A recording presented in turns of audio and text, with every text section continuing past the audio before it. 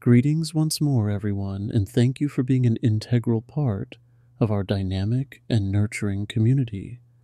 Before we delve into the spiritual message of the day, we encourage you to lend us your support by subscribing and liking this video.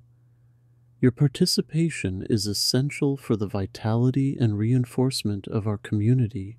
Now let's get started, shall we? The Nine of Water card has surfaced to reflect your current state and the underlying currents of your emotions. This card, with its serene mermaid and the treasure filled waters, speaks directly to a sense of fulfillment you are either experiencing or yearning for at this moment.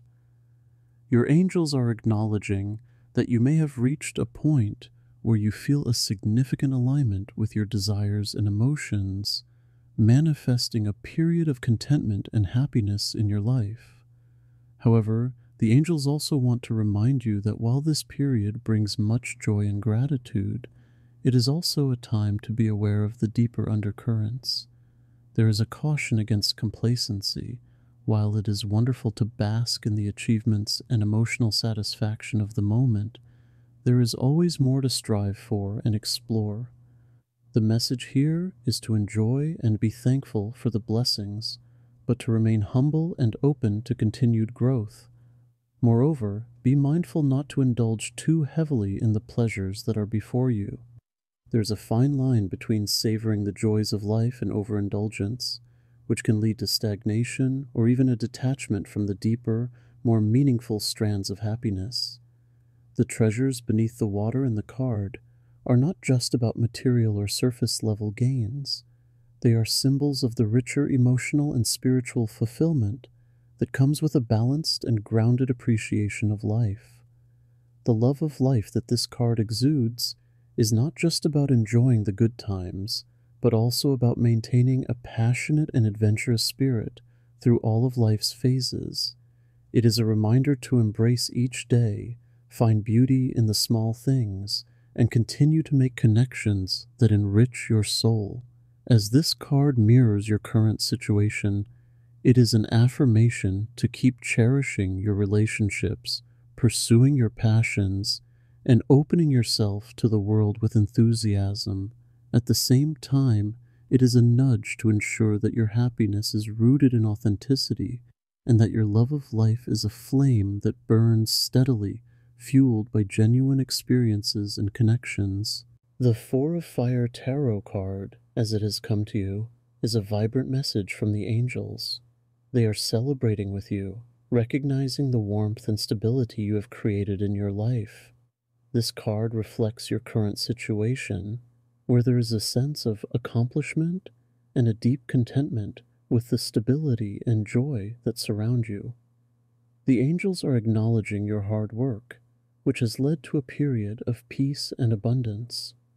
It is as if you have completed a significant chapter or project, and now is the time to bask in the glow of success and enjoy the comforts of a happy home life. Yet, in this moment of contentment and celebration, the angels gently remind you to maintain a balance. They understand that while you are enjoying the fruits of your labor, there is a natural human tendency to resist change to become rigid in the structure that has brought success. They caution against becoming too comfortable to the point where complacency sets in.